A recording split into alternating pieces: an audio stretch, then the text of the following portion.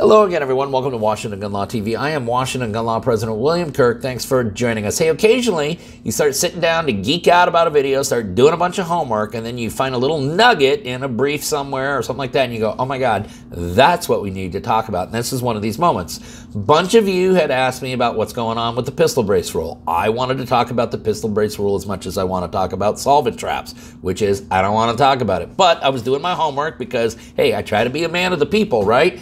And in looking at the two motions for summary judgment, because that's what's going on with the pistol brace rule right now in the case of Mock v. Garland, Mock is asking for a summary judgment. The United States government is asking for a summary judgment. But, but, one of the arguments that the United States government is making is hey, this thing's about taxation too, right? These items are supposed to be NFA items, items with attached stabilizing braces are actually SBRs, therefore it's about taxation, and therefore you can't enjoin that.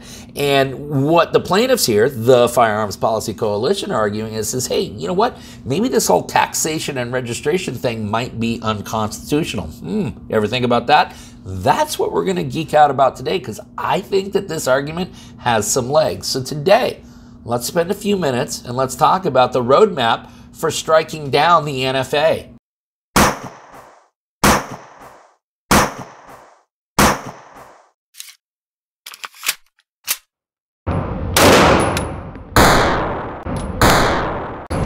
You know, I bet you wish you could go and do this every day, but you don't, do you? And I imagine you wish your groups looked a lot like this, but they don't, do they? No, instead, they have a tendency to look a little bit more like this. Plus, you might have noticed that this stuff ain't very cheap anymore. Or, just hear me out, you can use your Mantis X10 Elite training system like I do. Listen, this thing is way too easy to use. Step one, install the Mantis training app to your smartphone. Step two, install the Mantis X10 Elite training system to your firearm. It's as simple as this. Step three, open up the training app, select your program, and away you go. Listen, you can practice in the comfort of your own home. This app will store all the data. It will tell you what you're doing wrong, what you're doing right. It will tell you what you're improving on and what you need to work on. The best part is, all you need is your firearm and the Mantis X10. You don't need any ammunition and you don't need any expensive membership to a range or a gun club. And right now, if you want to check this revolutionary system out, all you got to do is click on that link right up there. For more information, visit our good friends at mantisx.com. Okay, this is what we're talking about sort of today. We're talking about Mock v. Garland. This is a case that challenges the constitutionality and legality of ATF's rule on firearms with attached stabilizing braces, better known as the pistol brace rule, better known as a rule that we've talked way too much about on this channel. Now, both sides are asking for summary judgments. That's the subject of a whole nother video. We can geek out on that later. I happen to be reading the plaintiff's motion for summary judgment, that is Mock's motion for summary judgment, brought to you by our good friends at the Firearms Policy Coalition. So we're going to put a link down below so that all of you, and you should do this, show them some love. However, as you know, one of the things that the United States and the ATF is arguing here is hey, listen, this isn't really just about a firearm regulation. This is about a form of taxation. Okay, this is about regulation and taxation.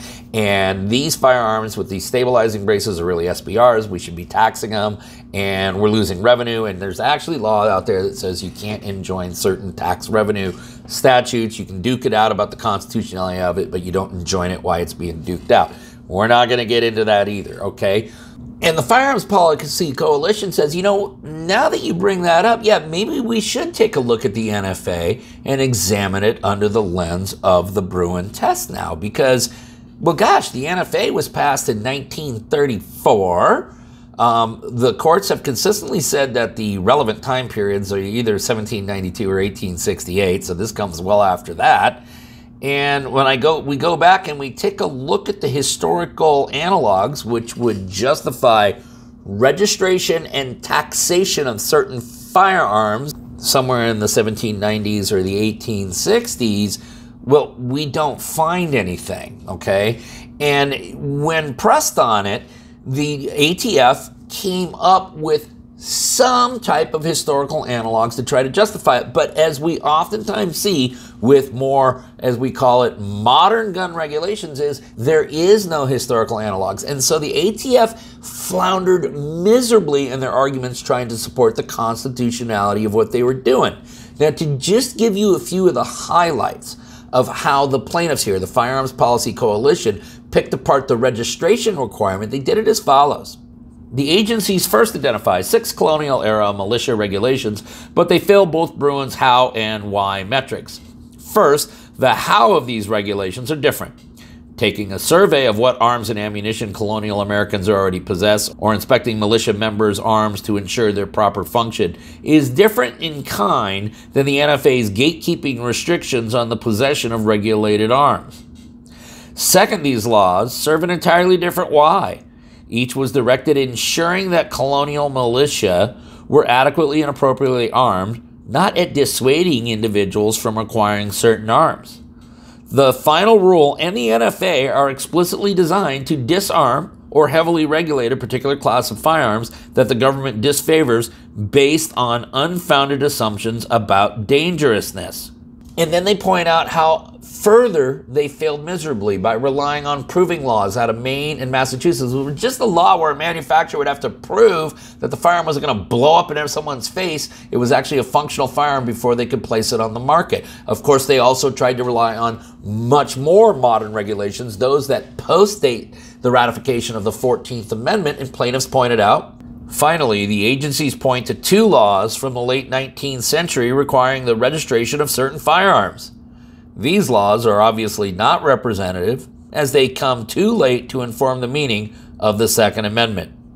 In short, the agencies have failed to meet their burden of showing that there is a historical tradition of firearm registration requirement to justify the final rule and the NFA. And that's just on the registration part. What about taxation? What sort of historical tradition do we have about taxing the owners of a particular type of firearm? This is how the Firearms Policy Coalition dealt with that. The historical regulations the agencies attempt to analogize as a tradition of taxation fare no better. The agency start off with four colonial regulations focused on the inspection and sale of gunpowder. However, they fail Bruen's how and why test. On the House side, these laws were quality control laws that restricted the commercial sale of gunpowder both through inspection requirements and by requiring vendors to be licensed. The final rule, by contrast, burdens the possession of a class of weapons writ large. The gunpowder regulations also serve a distinctly different why. These colonial regulations were enacted to ensure that gunpowder sold to the public met basic quality standards. The final rule, by contrast, is motivated by the agency's desire to push brace pistols out of the market. At bottom, the gunpowder regulations have nothing in common with the final rule. And the plaintiffs point out listen, you know you're getting desperate when you start citing to racist gun control laws. The agencies illustrate how bare the historical record is by turning to four colonial laws restricting the sale of firearms and ammunition to Native Americans, claiming that these laws are evidence of strict regulations regarding where and to whom some firearms could be sold. Because these laws were discriminatory and targeted a small subset of the population, they should be left in the dustbin of history and not used as tools to restrict the rights in the modern day. And let us remember how much easier it would have been to disarm individuals who are not considered to be part of the people as protected by the Constitution. An argument which, by the way, I will point out that the ATF routinely makes, as does many other civilian disarmament regimes. As the plaintiffs point out, Moreover, at the time, Native Americans were not considered to be among the people protected under the Constitution, and thus colonial era law aimed at them are no guide as to how the Constitution should be interpreted to apply to the people today. So here's the thing, everyone. When we take a look at the National Firearms Act, and we truly do analyze it, under the Bruen analysis test as set forth in New York Pistol Rifle Association v. Bruen, the government is going to be in a position where they must justify both the registration and special taxation of certain platforms of firearms. They will have to do so using historical analogs that go all the way back to the late 1700s or the 1860s at latest.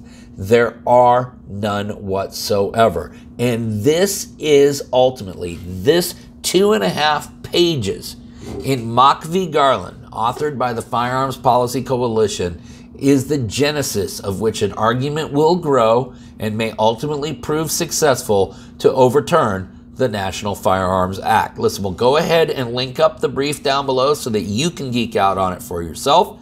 If you got any other questions about this or anything else related to what's left of our Second Amendment rights, you guys should know how to get a hold of Washington gun law by now. If you don't, that's okay. That information is down there in the description box. And then finally, let's remember that part of being the lawful and responsible gun owner, like we talk about all the time, is to know what the law is in every situation, how it applies to you in any instance that you may find yourself. Until next time, thanks for watching. Stay safe.